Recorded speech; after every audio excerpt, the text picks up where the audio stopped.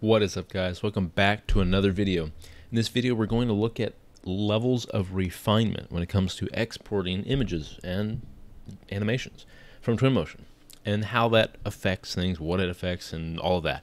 So before we get into it, if at any point in this video you happen to learn something, which that's kind of why you're here, right? Please demolish that like button. It helps me very, very much.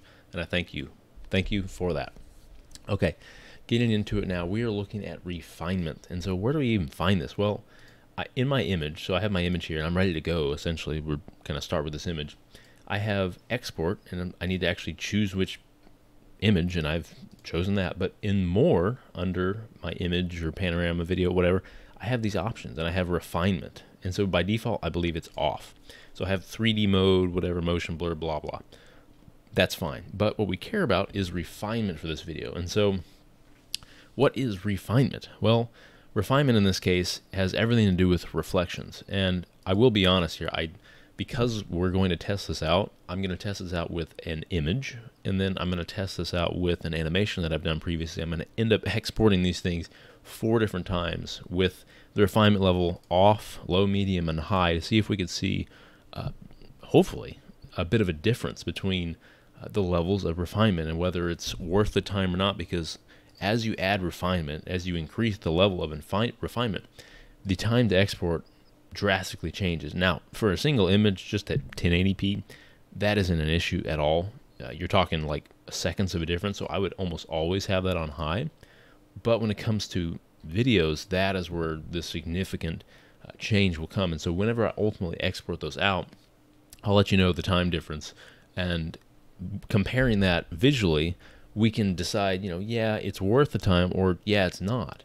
And so even before we get into that, I do want to show you uh, really what we're working with here. And so I'm in just a basic bathroom, nothing special, but we have a mirror. We have a, I guess you could call it a reflective glass shower.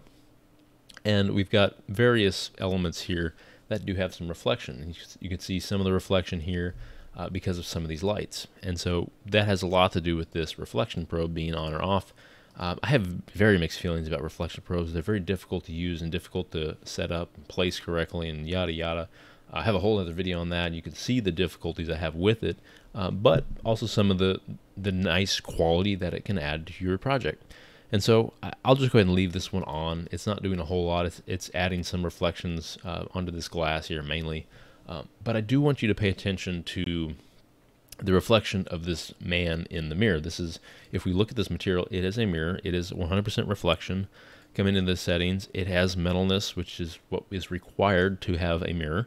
Um, so I have all the mirror properties that I need to get 100% reflection. And if I even come up here, you can see, you know, it, it's supposed to work. But the thing with reflections in Twinmotion is that it's based on the active viewport. And by active viewport, I mean what you can see. And so as I zoom in here, we start to see less. And that's just because less of what is being reflected is visible. And so as I zoom out, we could see there's more of this, you know, I guess you could say this person seen in the reflection, but even the quality here, it's almost like it's multiplied so many times. And my hope with the refinement is slash was that this would be addressed and that we could actually see more of a uh, human looking person come out of the 100% perfect mirror that this is. And so even if as I get closer to being more straight on, it does get better, but you can see it's it's not where we want it to be.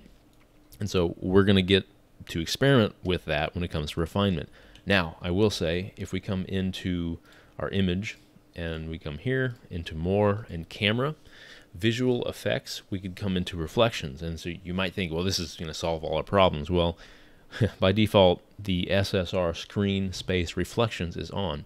And screen all screen space reflections are just the natural reflections you would get from the materials that you have in your project, the, the level of reflection that you have on all of those materials.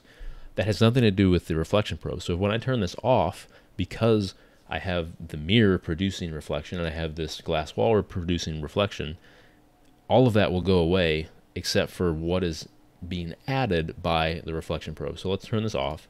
We can see I lose reflection down here from the floor and then specifically my mirror. Now to show you even better, I will turn the box reflection probe off And we can turn this on and off and we can see the difference here. You know, we're, we're getting some extra reflection even from this guy on the ground being reflected on the floor that looks a little more natural.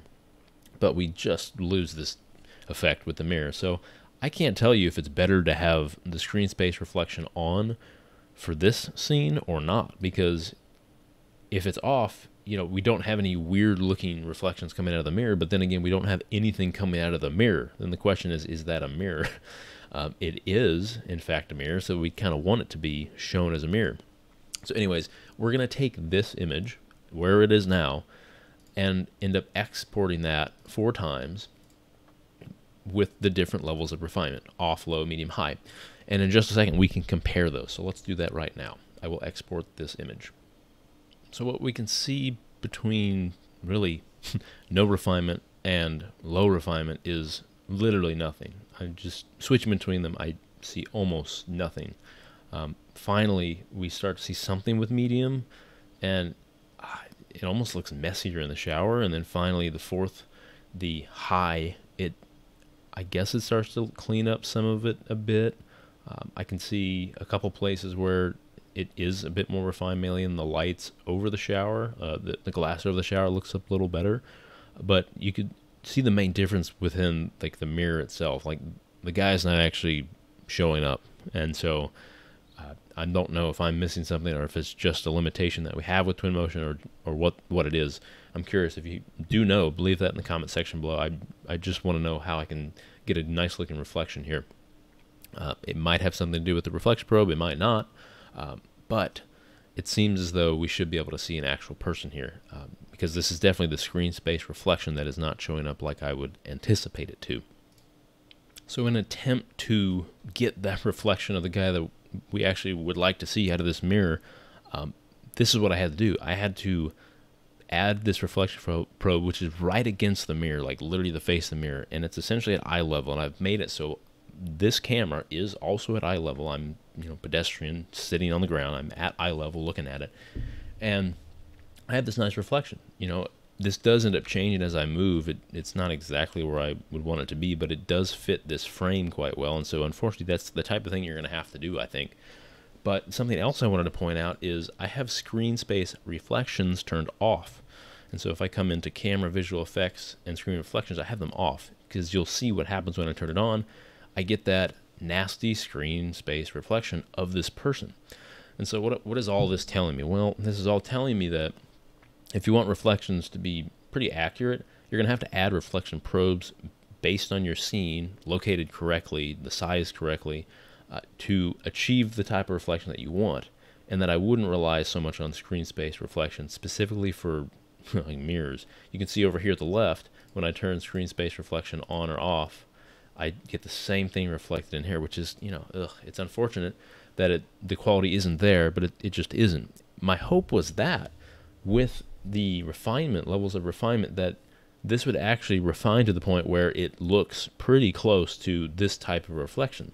Um, unfortunately, not. And so it might be that it's best to riddle your scene with all types of uh, reflection probes just so you could get those reflections that you truly want and expect at the quality you would expect because, of course, uh, if you haven't seen my previous Reflections Probe video, I would highly encourage you watch that because that'll run you down the path of reflective probes specifically. But this is something I want to bring up again. Uh, reflection probe volume resolution. So I can see it at full quality, 1024, in my viewport, and it will export that as well. Now, this is not the default, which is why I point this out to you. Also, exports, you really want to have the updated reflections checked so that whenever you do export, it will update your reflections appropriate based on where you are, what you're looking at, blah, blah. And so that it's all up to date and good to go. So with all that, I do want to go ahead and export this image, but I'm not going to go through all of the different refinement levels. I'm just going to go through off and then high to see if we can see any difference with screen space reflections off. And my guess is we're not going to see any difference because the refinement should only be impacting those screen space reflections, but let's give that a test as well. And so here we go with it off. We can see, you know, it looks fine. It looks exactly like what we saw in Twinmotion. It's kind of what we expected.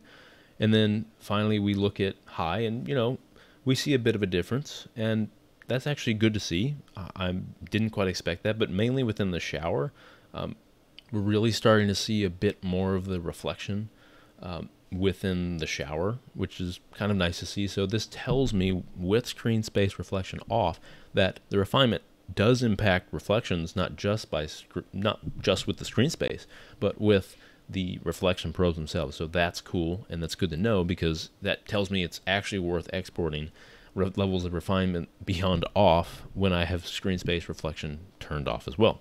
Okay, so now let's look at the animation. And so I'm going to blow right into those and we're going to have an idea, uh, have them running side by side, both off and low, and we can go from there and see, how you know, this is working or it's not worth the time, all of that. We'll analyze that after the video plays.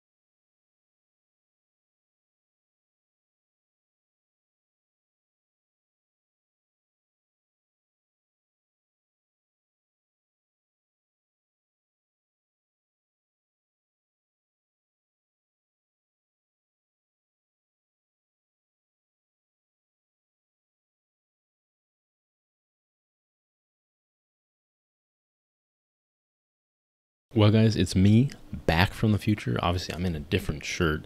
It's a different day. Uh, it, it had to be because each one of those different videos took over two or three hours each. Like, that's ridiculous. And so, I mean, what we're trying to get at is is it worth it? Is it, I mean, are we seeing a difference in the different levels of refinement when it comes to videos? Eh, you know, I, I'm not going to sit here and advocate for it, especially spending hours doing that. Now, I will say it didn't seem like it added a ton of time, even going from off all the way up to high. Um, you can use that judgment based on your own scene and everything. I uh, definitely experiment with it, but I don't know. It it didn't seem like the most impactful thing to me. It's just kind of the way it is. But definitely try it out. I would say it's definitely always worth it for images because it either took five seconds to export an image or 10, 15, 20, like no time, basically no time difference. And we saw, you know, I guess you could say just enough of a difference in those to make to justify doing it and spending the extra time. It's worth it, I think. But we also went through what it can do as far as reflections and what it can't do. So I think the only way I might be able to tell a, one difference from another, uh, even between off and high in the video, is just pausing it and seeing if frame by frame I see any differences. But you know, go through that and look at it again if you want. Pause it and see. But it may not even be worth doing that. I don't know. It's kind of up to you. If you have the time, do it great, but otherwise, I don't know.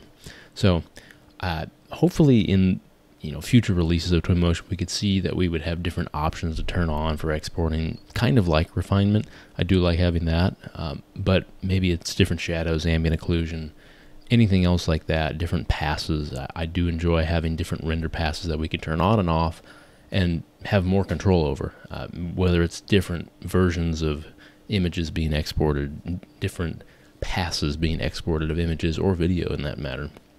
I would just like to see that. So, you know, that will do it for this video. We looked at images and videos, animations exported from Twinmotion, looking at the different levels of refinement, see if they matter, see if they help.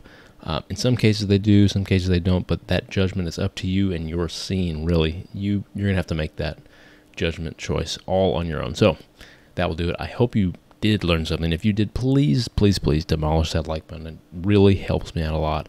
And I will see you in the next video. Thank you very much for watching.